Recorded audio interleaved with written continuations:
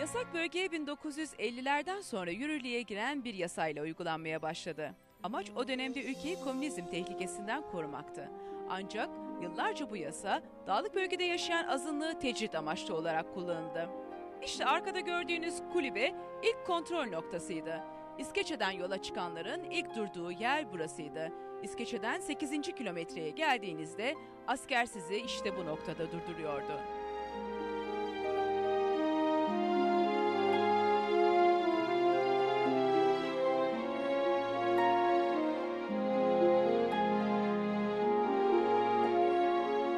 Yasak bölge sadece Türklerin yaşadığı yaklaşık 125 köyü kapsıyor, 35 bin azınlık mensubunu etkiliyordu. Yasak bölgeye giriş ve çıkışlar özel kimliklerle yapılıyordu.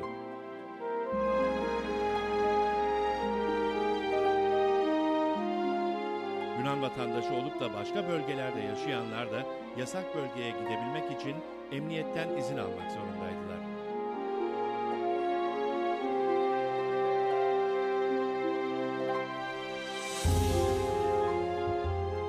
Yabancı diplomatların ve genelde yabancı uyrukluların bölgeye girmesi neredeyse imkansızdı.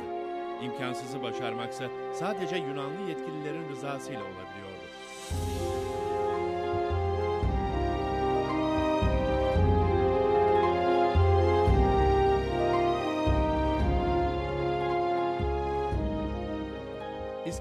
Dağ köylerine gidişte ilk askeri kontrol noktası 8. kilometrede, ikinci kontrol noktası da 21. kilometrede yer alıyordu.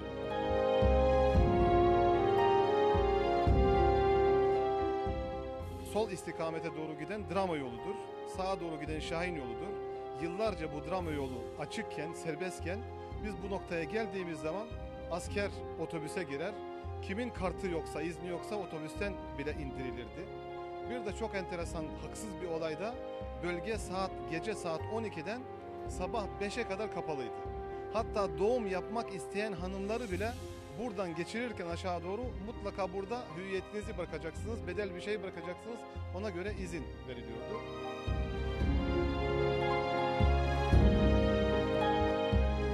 Kişiye özel dolaşım belgesinde kart hamilinin daimi ikamet adresinden 30 kilometre çapında serbest dolaşım hakkına sahip olduğu belirtiliyordu.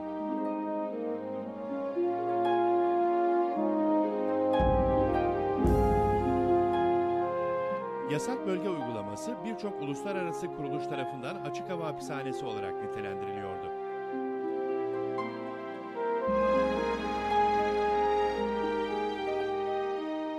Benim akrabalarımdan, dayılarım, dayılarım, amcalarım, teyzelerim Türkiye'de e, ye- yerleşmişti. Babaları, anneleri hastalanınca e, benim dayım e, Hüseyin isminde bir dayım vardı. O e, geldi. Ona hani izin çıkarabilmek için İskeçe'de mesela bir hafta mesela bekletildi. Bir hafta İskeçe'de bekletildi ve nihayet ona mesela bir haftalık mesela bir izin verildi. Bir hafta sonra e, o da özel şeye, özel kişilere e, gidilir, gidiliyordu o izin almak için.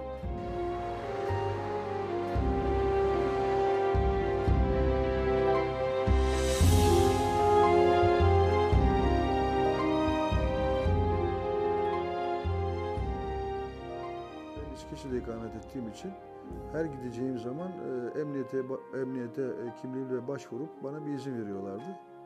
E, hatırlamıyorum belki 24 saatlikti, belki bir haftalıktı fakat böyle bir izne tabi tutuluyorduk.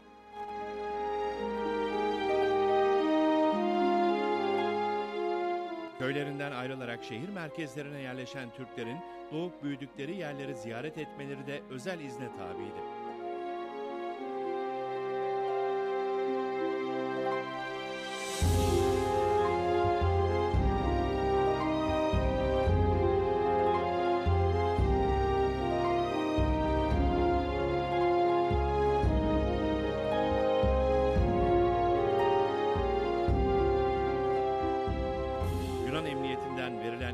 Belgelerinde yasak bölgeyi ziyaret edeceklerinde izleyecekleri güzergah, kullanacakları ulaşım aracı ve hatta ziyaret nedeni belirtiliyor.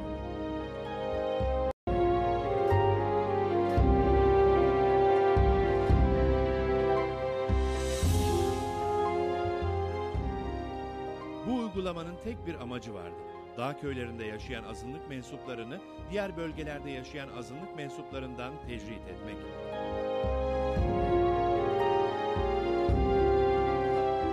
Askeri el kontrol noktası Küçük Derbent'te askeriye baraka vardı. Orada her geçtiğimizde e, kimlik sorulurdu.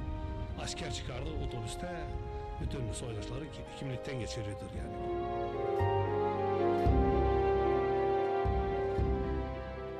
Hukuki varlığını sürdürse de yasak bölge uygulaması bugün fiilen yürürlükten kalktı.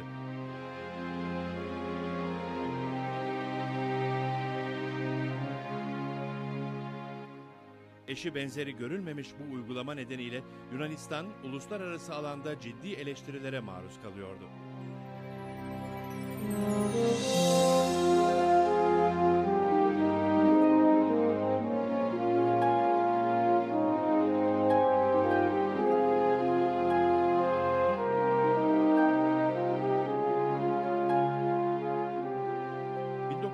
...1996 yılında dönemin savunma bakanı Yerasimos Arsenis... ...askeri kontrol noktalarının kalktığını açıkladı.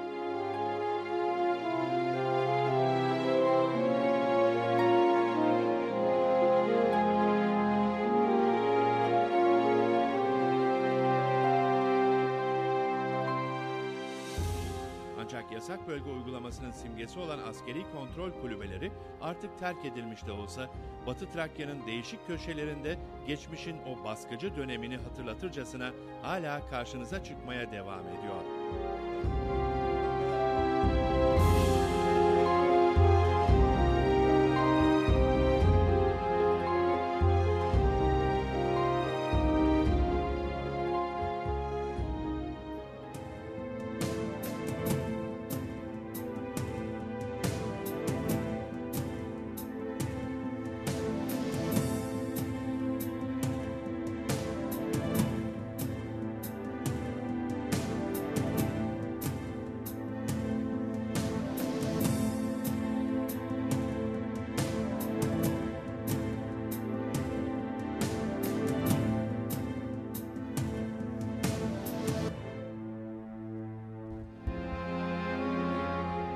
Türkiye'nin Gümülcine Başkonsolosu Ahmet Rıza Demirer, Biz Buradayız programının ilk bölümünün TRT kanalında yayınlanması nedeniyle Başkonsolosluk konutunda bir davet verdi.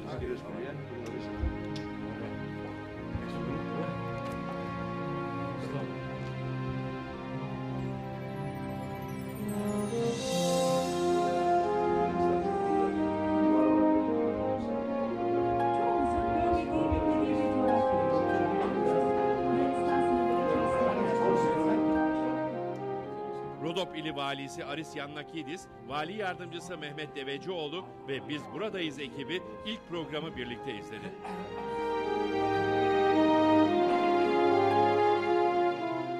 Başkonsolos Demirer ve Vali Yannakidis'e programa ilişkin düşüncelerini sordu. Λειτουργήσαν τα δικά μου βιώματα. Έχω συνυπάρξει με ανθρώπους της μειονότητας στα παιδικά μου χρόνια. Είναι εξαιρετικές αναμνήσεις. Έχουμε πολλές φορές ότι εδώ στην δική μου περιοχή η συνύπαρξη μειονότητας και πλειονότητας είναι η ανάσα μας και η αναπνοή. Öncelikle sizi tebrik etmek istiyorum. Bu programı burada Sayın Valimiz, yardımcısı ve sizlerle birlikte beraber izledik. Çok güzel bir program olmuş. Sizleri kutlarım. Böyle bir programın aslında ben burada kısa süredir görev yapıyorum ama eksikliği hemen hissediliyordu. Çünkü Batı Trakya'da çok canlı bir hayat var. Belki nüfus az, şehirler küçük ama zengin bir toplumun bütün canlılığı burada da bulunuyor. Böyle bir programın TRT'de yayınlanması daha da aslında simgesel olarak önemli. TRT burada güvenilen, izlenilen, takip edilen başlıca Türk kanalıdır. Onun için TRT'nin böyle bir eksikliği doldurması da zaten aslında beklenen, doğal olan durumdur. Ε, σε εμάς δεν υπάρχει πλειονότητα και μειονότητα. Υπάρχουν άνθρωποι. Υπάρχουν άνθρωποι με διαφορετικές ε, προσεγγίσεις πολιτισμικές ή διαφορετικές θρησκευτικές αναφορές, αλλά έχουμε βρει τον τρόπο να επικοινωνούμε και ζούμε πολύ όμορφα.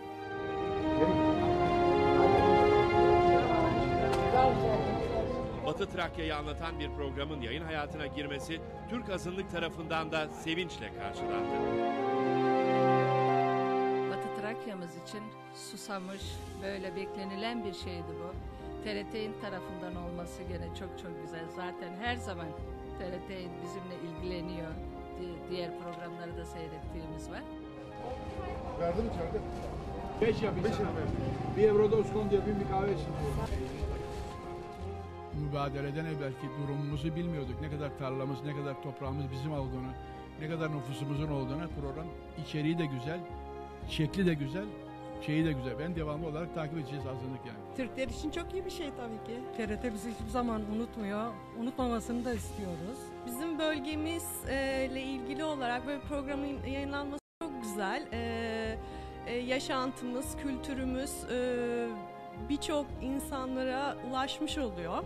E, bunu hazırlayan kişilere, TRT İNT'e, bütün bütün çalışan arkadaşlara ben teşekkür etmek istiyorum. Kendi adıma ve Batı Trakya halkı adına. İsteyiz böyle programlar devamlı yapılsın. Hani unutturulmayalım bu arada Batı Trakya tarafından. İlk programa oturup keyifle seyrettim. İlk defa böyle bir şey yapılıyor. İlk defa Batı Trakya ile Batı Trakya Türkleri ile ilgili bir program düzenleniyor. TRT'nin e, bunu yapması bizleri çok sevindirdi. İlerleyen bölümleri merakla bekliyorum.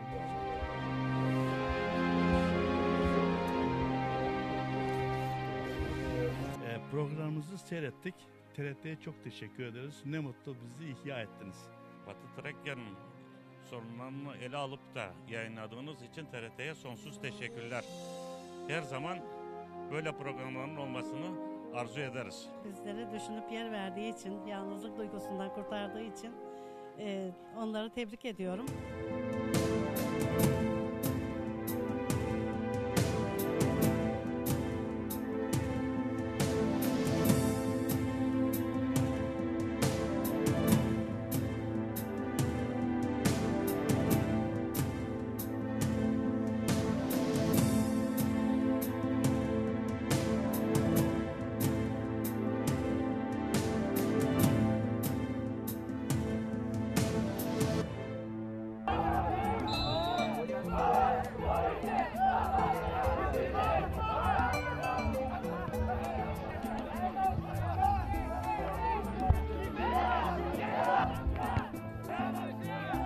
Biz buradayız ekibi olarak Rodopili Bölgesel Ligi'nde bir Gümülcine derbisi heyecanına tanık oluyoruz.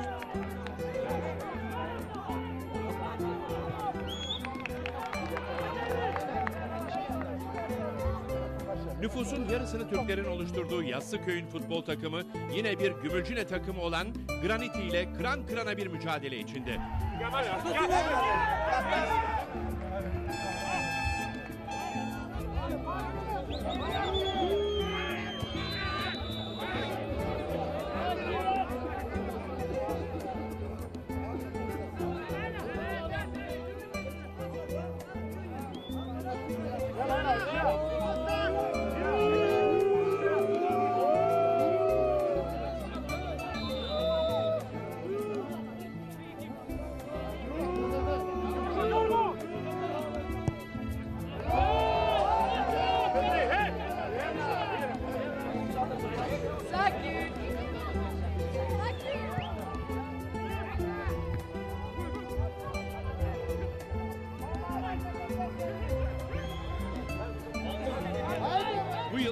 kez 4. lige çıkan Yassıköy futbol takımının bu sezon hedefi oldukça mütevazı.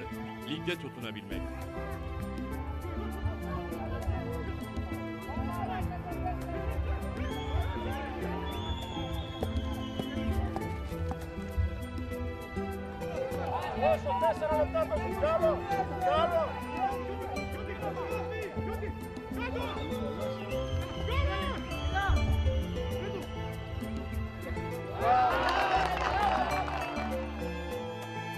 Yönetiminin tamamı ve futbolcularının büyük çoğunluğu Türklerden oluşan Yassıköy takımı özlediği gole tam 86. dakikada Nazım Giritli'nin ayağından kavuşuyor.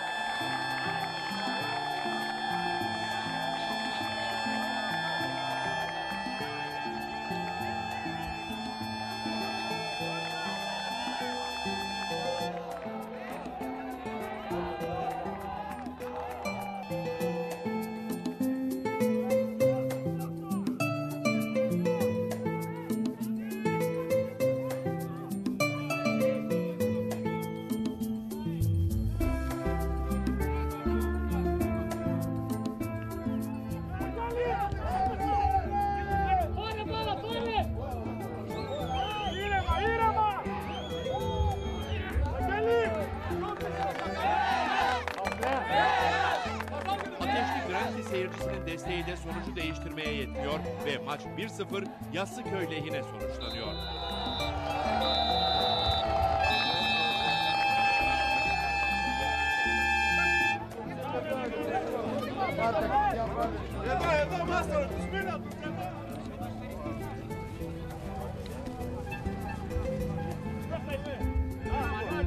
Böylece Yassıköy ilk kez katıldığı bu ligde 11 puana ulaşarak 8. sıraya yerleşiyor.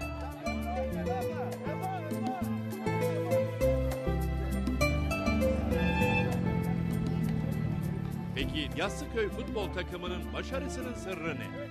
Bütün e, yönetim olarak herkes Türk. E, Zaten burada Türk-Yunan ayrımı olan e, olan bir yer değil. Çok iyi anlaşıyoruz herkesle. Takım olarak çok iyiyiz. Bu da oyunumuza yansıyor. E, Bu yüzden de başarımız e, bu oyunumuzda ilerleyecek. Daha da iyi olacağız.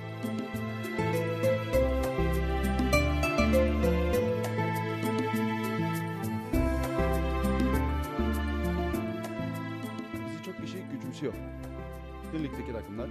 Ama biz kendimize çok inanıyoruz. Takım halinde bir çok bağlıyız. Ve çok iyi güzel, çok güzel bir yerde ligi bitireceğimize inanıyorum.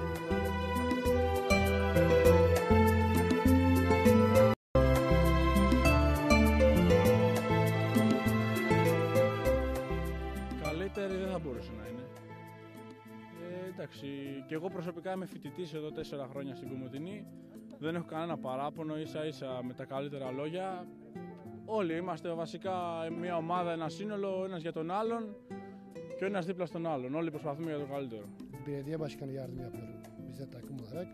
Biz kendi 9 arkadaş yönetimdeyiz. Köy bize yardım ediyor. Çıkardık biletler, kombine biletler köyü destekliyor. Reklam falan yani hepsi- gelirimiz köyden yani.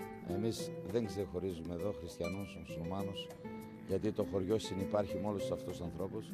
Ο πρόεδρος της ομάδος είναι αντιδήμαρχος από πρώτη-πρώτη, είναι δεδομένο, είναι ξεκαθαρισμένα αυτά τα πράγματα. Και βλέπετε όλοι μαζί παλεύουμε γιατί ο αθλητισμός όπου συνυπάρχουμε όλοι μαζί δεν έχει να χωρίσει τίποτα. Έπειση beraber gideceğiz. Çok mersi.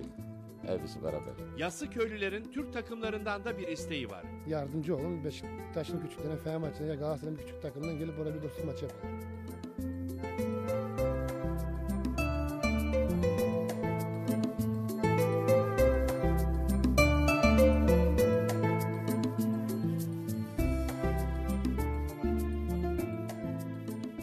Türkiye'den bir Fenerbahçe olabilir, bir Galatasaray olabilir, bir Beşiktaş olabilir. Fark etmez yani Türkiye'de birinci ligde bir takım olabilir. Buraya Gümüşhane'ye getirip Andrakoz'dan bir maç yaptırabiliriz yani. Bu bizim için bir gururdur, bir onurdur. Kardeşlik yapsınlar birkaç takımla Türkiye'de. Tabii, tabii, en önemli. Oraya gidilsin, Onlar Türkiye'ye buraya gidilsin, gelsin. Türkiye'den buraya gelinsin. Yani o takımlar yardımcı olsun.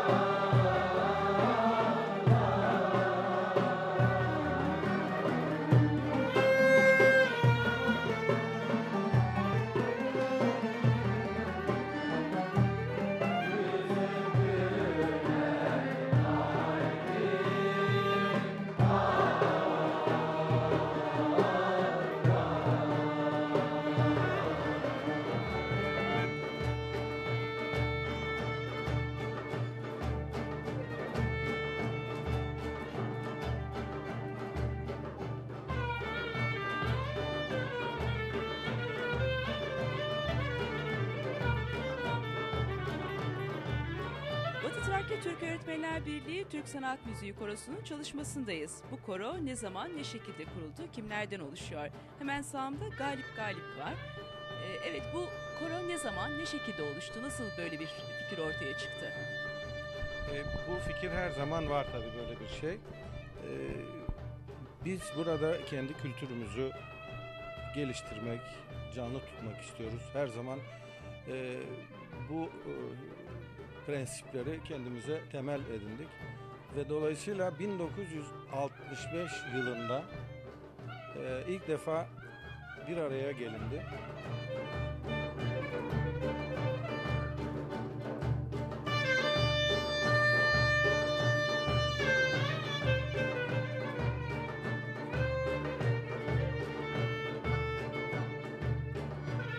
Bazı sanatçı ağabeylerimiz göç etmek zorunda kaldılar buralardan. İşte o dönemlerde bu topluluk da haliyle dağıldı.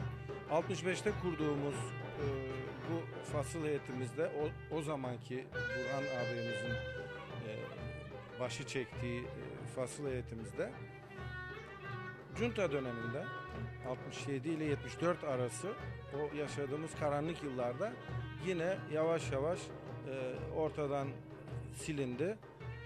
Çünkü o zamanlar e, çeşitli baskılar yapılıyordu. Hatta düğünlerimizde Türkçe müzik dahi e, çalamaz olmuştuk.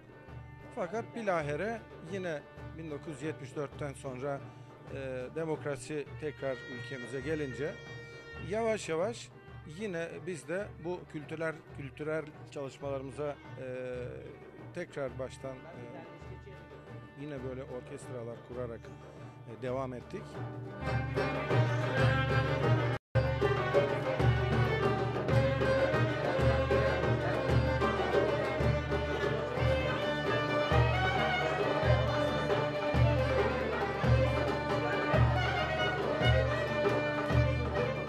Hem biz e, kendi kültürümüze sahip çıkmış oluyoruz hem de vaktimizi bu- şekilde değerlendiriyoruz.